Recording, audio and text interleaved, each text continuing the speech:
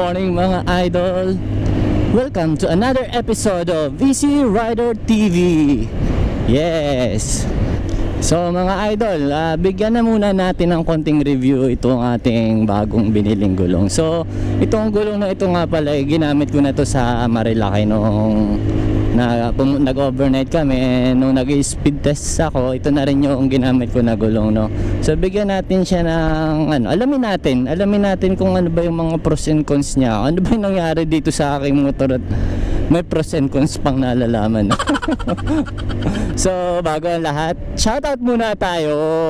Shoutout time Shoutout kay Ricardo Tortugo, Lian Robles, Robin Jan Ramos, Kenneth Bolocon, Boss Aldrin Dale, Maintenance Ordaneta, Filipa Bestudio, Eugene Basi, Marvin Casitas, welcome back. Mark Mendoza, Art de la Cruz, Bag Wizem, Trosi Mike Pae, Vincent Cuanco, Edwin Bedeventura, Ronnie Marshall, King Korea, Jeff Bakbakan, Albert Avila, Edison Vasquez, Jello Estopito, Jason Ard Lumaan, Hapon ni Michelle Hershey, Daisuke Escobar, Bradley Nabarti, Kuya Dave Gaming, Kenneth Masagka, Francis Milano. Shoutout sa inyo mga idol. Yun, shoutout sa inyo mga idol at sa ating 750 subscribers, shoutout sa inyo. Maraming maraming salamat. So bago bago nga pala yun mga idol no, ah bigyan ko muna kayo ng konting ano no, na konting update no. Yung may nangyari kanina sa akin dito sa motor ah. Naulit na naman yung pangyayari, yung pangyayari na bigla na naman siyang tumigil no. Idol, ano-ano bang ginawa mo solusyon at umandar na naman yan? Ganito yan no. Bigyan ko lang kayo ng konting ano, konting details sa kung ano ba yung ginawa ko no. So nung nangyari sa akin yun, medyo hindi na ako nabahala kasi ah, medyo parang alam mo na yung gagawin ko. No? Sabi ko, kung naulit tong nangyari na to, eh di uulitin ko kung ano yung ginawa ko. Itong mga ganitong sitwasyon, eh napakaganda nito para sa, napakagandang malaman nito para sa mga bagong kuha ng Easy Ride 150N and sa mga users na walang masyadong nalalaman na regarding sa pagkukulikot ng ating motor. Ah, ako, ganun din naman ako, no? Wala naman talaga rin ako masyadong alam, no? Ah, kaso nangyayari is based on my experience lang to mga idol, no? So ano nga bang ginawa ko? So ganito idol lang ang una kong ginawa. Buti na lang, hindi pa ako nakakalis ito sa bahay, no? Nung bigla ko siyang narev, kasi pinapainit ko muna siya, yung usual na ginagawa ko. Ah, nung bigla ako siyang narev, bigla siyang namatay, sabi ko, alam ko na, naulit na naman yung nangyari. Pwedeng na parang yung parang nabulunan na naman, no. So ang una kong ginawa, nag-drain muna ako ng carb kasi nga nitong mga nakaraan umulan na naman ng umulan di ba halos dalawang gabi yata ulan ng ulan no nag-try ulit ako ini-start ko ulit siya hindi na naman siya nag start and then pangalawang ginawa ko pinuntahan ko uli yung hangin niluwagan ko siya ng sobra tinang inikot ko yung hangin niya niluwagan ko then after nun ibinalik ko siya sa dati So, siguro hindi naman hindi pa tumatagal, no? Ginamitan ko ulit siya ng push start. Nag-start na naman siya. Sabi ko, ano ba 'yun? May mga pangyayaring gano'n, no? Hindi ko alam kung ano ah, kung ano talaga yung nagiging ano ah, nagiging cost nun ah. Pero parang nadadalas na nangyayari yung gano'n, no? Pero po ito, ito na naman siya, mandar na naman. Wala pang 30 minutes, napandar ko na ulit siya. So siguro kung sa isa sa inyo sa mga user dyan or ku- kukuha pa lang at na experience nyo, ah, pwede nyo ring itry itong ginagawa ko kasi sa akin nagiging effective naman siya and wala naman na- ah, wala na akong ibang ginalaw no? hindi na hindi ko na ginalaw yung host kasi mukhang okay naman hindi naman siya mukhang naipit kasi nga ang tagal ko pa siyang napainit nung umaga eh. kung talagang ipit yung host naman niya mamamatay naman agad yun no so sa mga ano ah, subukan nyo na lang din baka yung biglang natitirikan yung sinasabi nilang iba na biglang tumitirik yung motor nila no habang pinapaandar nila baka malamang may kinalaman din yun sa uh, malay natin pwedeng sa din or pwedeng may kinalaman din sa hangin no kasi rin ang una kong ginawa nung una, di ba? Na, gumana naman. Yon mga idol, no, unahin natin tong unahan na gulong. Ah, kung makikita nyo siya, ah, parang tumangkad siya. Pero halos yung size niya, yung 130 by 60 by 13, halos wala siyang pinagkaiba. Parang lumapad lang siya ng konti rito, no. Pero tumangkad siya. Ah, and pa, nung nagmarilaki kami, makikita mo, pag medyo nagbebengking ka, Andito yung kain niya, oh. At meron pang ano rito, no? Pwede mo pa siyang medyo isagad. isagad ng beke. Pero hindi na tayo abot sa ganun. Baka ma tayo madisgrasya. So, dito naman, wala naman ako nakikitang cons dito, no? Kasi, almost sakto talaga naman siya. Maganda rin yung ano niya. Maganda, pogi, pogi. Pogi. Pogi rin siya tignan, no? Ah, okay tayo rito. Ang nagiging problema natin ay itong sa likod. Kung mapapansin niyo mga idol, no, wala na yung ating tire hugger dito, no. Kasi sa sobrang tumangkad nga siya at tumaba siya, ah, hindi na rin siya ano no, hindi na talaga hindi hindi talaga nagawa agad ng paraan kung paano may kakabit yun, no. Dalawang cons niya, ang makikita niyo yung ano niya dito sa shock. Konti na lang yung allowance niya, oh. Ah, hindi hindi ka na rin makakapagbalit ng shock na medyo malaki ang spring na katulad ng YSS or Racing Boy dahil konti na lang clearance niya dito saka dun sa kabila. At pagdating dito rin no, sa ilalim dito no. Halos wala na konti na lang din yung clearance niya no. So medyo talagang naka malapit na talaga siya. And ang ginawa ko na lang sigurong solusyon no. ah, nilagyan ko muna nito kasi kung wala akong lalagay nito, nagdudumi yung ilalim dun no. Pumapasok din yung dumi. Ito yung mga cons nitong ano na to pagpalit natin ng malaking gulong no. So eh, ano ko nga pala sa inyo mga idol no, idagdag ko lang no. Nung time na binabaklas tong gulong, ah, binabaklas to at magpapalit na nga ng gulong. Itong swing arm natin, ito, medyo mahirap na siyang tanggalin no. Nagkaroon na siya ng ano, kalawang sa loob. Kaya yung nagtatanggal nung yung nagtatanggal ng gulong, medyo nahirapan si kuya no, medyo pa niya ng konti ito inilalayan no. So medyo nangamba ako doon. Sabi ko baka matulad tayo dun sa ibang scooter na talagang ginagamitan ng maso no. Pero nagawa naman ni kuya ng paraan, hindi naman niya na ganun kapersa. So pag bukas niya nun, kung makikita niyo yung last video no na may tinitignan akong piston dun sa last video ko no. ah, kinakain na pala siya ng ano ano, may mga kalawang niya sa loob.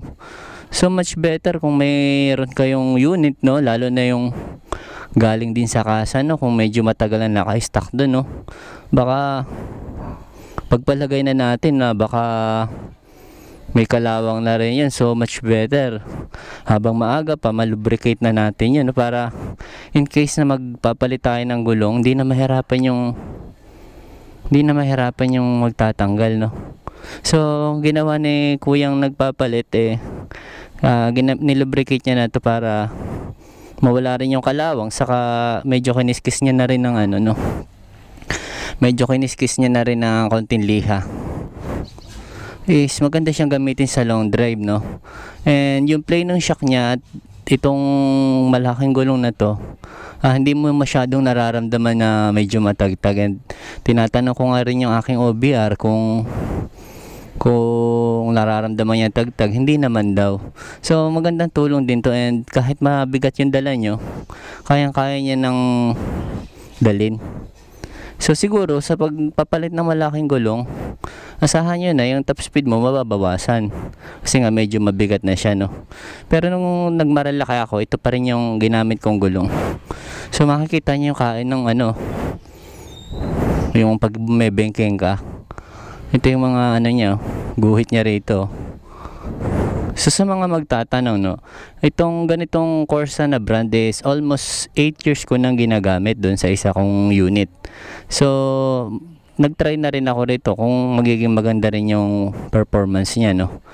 So sa loob ng 8 years na ginagamit ko naman tong gulong na to, marami na akong iba't ibang lugar na napuntahan no. So mamaya, i-share ko sa inyo yung mga lugar na pinuntahan na gamit ito, ang naging performance nito. Ah, konting picture lang naman yun kasi baka maubos ang oras natin to. Pin, pinakita ko ito. Ah, sa mga bawat biyahe ko naman eh, hindi hindi ako nagka-aberya dito sa gulong na to, no. Kahit na napako ako minsan, na hindi naman siya naging hadlang, no. Naka nakatulong pa rin yung ano niya, no. Yung quality na tire seal. At idagdag ko lang to mga idol, no. Ah, bibihira lang kasi gumagamit ng ganitong gulong, no. Pero kung lalo na rito sa atin sa Pilipinas, no, lalo na sa mga pang NMAX. Pero kung titignan nyo sa YouTube, ang madalas na gumagamit nito ay mga Indonesian. Nilalagay nila sa NMAX nila. So, ito kilala kilala to sa Indonesia. Pwede nyo rin sila, pwede nyo rin i-try i-search sa YouTube yung Corsa Tire na M5 na nilagay sa NMAX sa mga NMAX ng mga Indonesian. Pero dito sa atin, bihira lang yung gumagamit nito rito eh. So sana sa konting review natin dito sa tire na ito, sa gulong na to, sa konting review natin sa gulong na to, makatulong to sa inyo mga idol, no? Ah, mag, hindi ko naman pinopromote yung gulong na to na ito rin yung bilhin nyo, no? Kasi para meron din kayong choices na katulad sa Pirelli, B-Rubber, etc. Makidagdag nyo rin sa listahan nyo to na good performance nitong gulong na to at hindi siya ganun kamahal.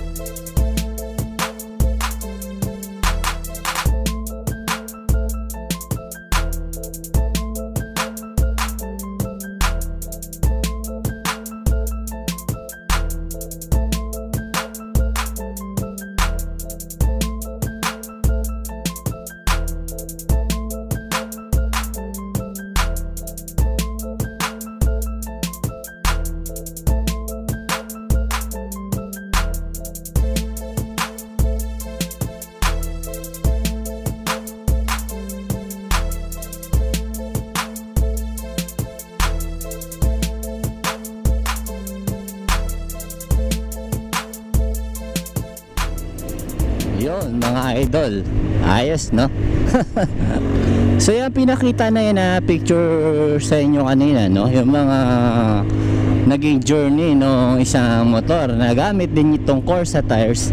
Ito, bala kong balikan yan, nagamit naman itong ating Motorstar Easy Ride 150N para makita natin kung ano yung performance ng motor at ng gulong kung same lang din ba sila no So ito mga ay, mga idol no, kabang-abang tong mga ganito pangyayari no. So sa mga bagong pasok dito sa atin no na just subscribe and hit the bell button eh, para maging updated lagi kayo no sa mga mangyayari sa atin dito sa ating motor no.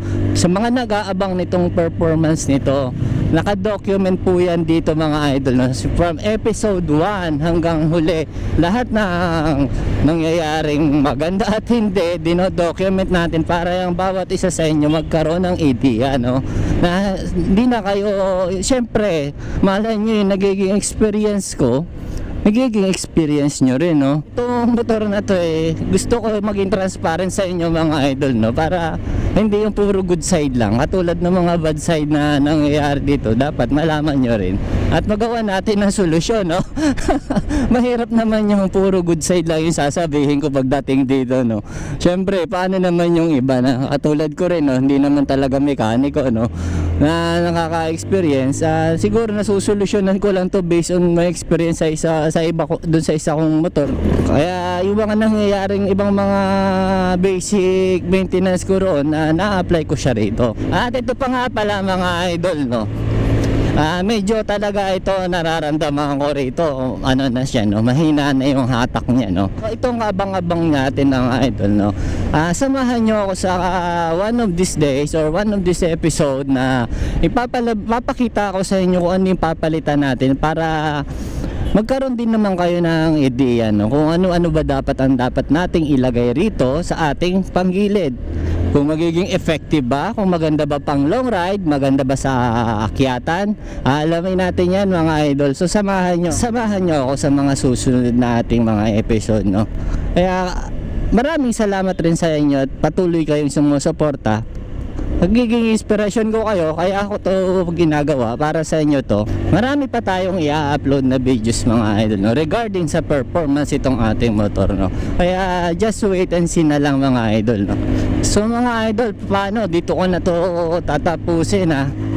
Muli po ako nagpapasalamat mga idol sa ating mga tagapanood sa sa ating mga sumusuporta sa ating mga ginagawa no.